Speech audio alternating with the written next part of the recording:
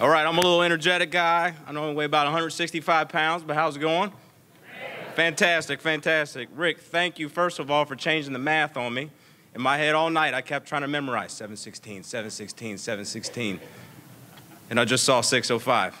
So I'm going to figure this speech out here as we go along. Uh, just want to say, first of all, thank you for uh, hosting, Rick. Appreciate your partnership uh, with Monroe, Madison, Middletown City Schools, and Edgewood. Um, I cannot continue without saying a special thank you to the crafty veteran that's here, Mr. Phil Cagwin. I believe you're over here somewhere. Phil, could you stand up for me, please?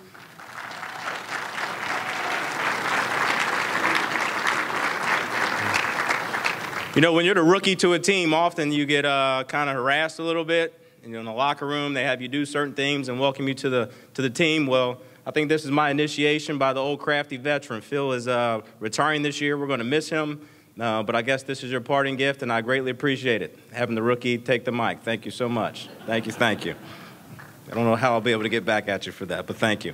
Uh, tonight, uh, I just wanted to take a few minutes. Rick said 15. I had uh, another young person tell me seven. Um, my wife said just stay around 10. Uh, so we'll just see how long we go and uh, hopefully leave tonight a little inspired. Um, I want to start with three words why, how, and what. Not sure what order makes sense, but those are three words that really stand out to me right now in this moment. Given the crowd and the presence and the individuals that we have, regardless of title or position, the area that you serve or the, the students that you serve also, it does not matter. But what matters tonight is how, what, and why. I think the word that's most important, given that 605 number right now, is the word why. And I relate that right back to motivation. What is our motivation right now, this minute? We are all pulling for the same reason, those 605, that 740 total before the math got, got broken down. The 740 is most important, but even the 605 is just as important as well as the, the entire number. Why? What's our motivation for what we're trying to do? The students. And that all translates in our efforts to what? A prosperous environment.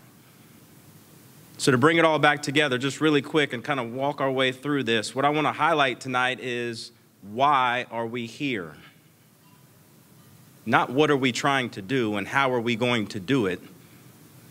My message to you tonight is let's pause for just a moment and ask why we are here and why do we need to do something so that we have a prosperous environment. Why do we need to do something for the 605? Why do we need to do something for the 740? We all have ideas, we all have resources, we all have programs, we all have dollars, we all have time. That will help us determine the what and the how. But I encourage us right now at this moment in time to be very innovative in our approach, be very bold in what we want to do, but let's start with the why. If you take just a few moments while this guy up here rambles and just think inside mentally, what is your why? What is it? What is your why? What is your motivation for doing what you do? If you can answer that question, doesn't matter if you're talking about being a parent, being a mentor, being a businessman, being an elected official, does not matter. But if you can answer the why, what is your motivation for doing what you do? Figuring out the what and the how is the easy part. But we often start with the how and forget to think about the why. So today I'm up here to challenge the entire room. Someone challenged me a couple weeks ago. I did follow through on that, John Graff. But today I want to challenge the room to start talking about the why. And don't just talk about the why with your organization, talk about the why with the entire area. Because five years from now, we're going to boom in this entire area. Before it booms, let's figure out the why together. So that when the boom happens, the how and the what has been executed with precision, and we all will celebrate a prosperous environment. And hopefully, that, six, that 605, almost went back to the other math, the 605 is significantly reduced. Hopefully, that 740 just demonstrates a number that just says pure success for students. That says pure success for future employers. That says pure success for future employees so that our environment prospers. And I know that's something that's very important to the chamber, creating a prosperous environment. But in our pursuit over the next five years, as we all come together before the boom happens, let's figure out our motivation together. Let's figure out our why together. And oftentimes that's difficult to accept because it won't feel like work's taking place, but really it is. My grandma told me, and she was pretty wise, she always said, slow down and speed up. So let's slow down for just a moment, figure out the why together collectively before we move to those next two pieces in that equation. We've been saying it in Middletown City Schools now is the time. And if I could offer that same piece of advice to everyone in the room, now is the time for all of us to come together. Now it is. We've been trying to tell our story. We've got so many good things to, to praise ourselves about. But the innovative pieces, the innovative approaches, the creative minds that are in this room, if we work together, the possibilities are endless. If we start with the first part of the equation, our motivation. So I challenge you tonight to find someone, another teammate, another partner, another organization, preferably, and talk about your why. Share your motivation so that we can have a prosperous environment. Middletown City Schools, we just released our strategic plan as well, and I thank our Board of Education for all their support. I thank all of you in this room who are part of the strategic planning committee.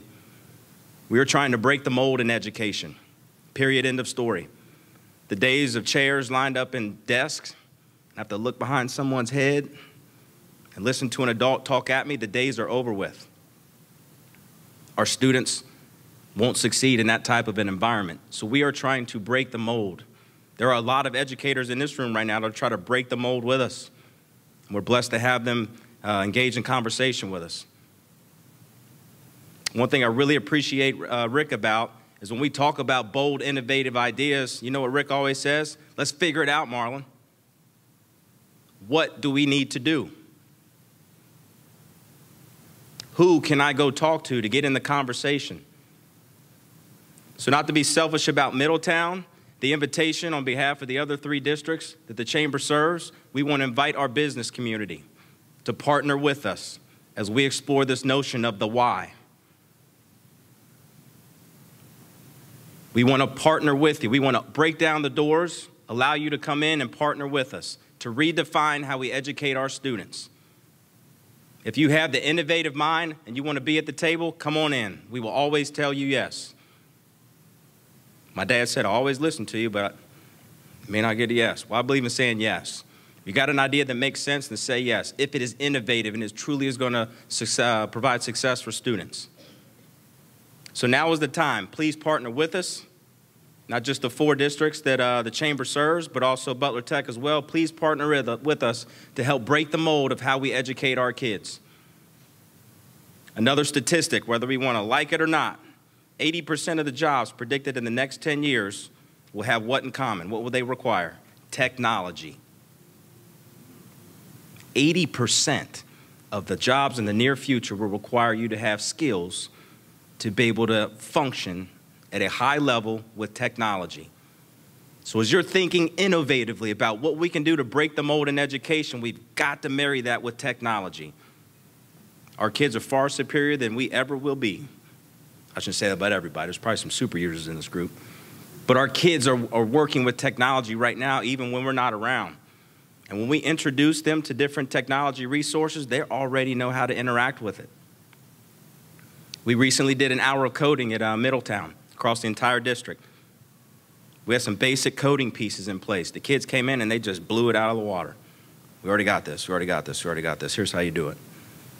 So we've got to raise our level. We've got to increase our ability to provide them with an education uh, that is elite so that we can have a prosperous community.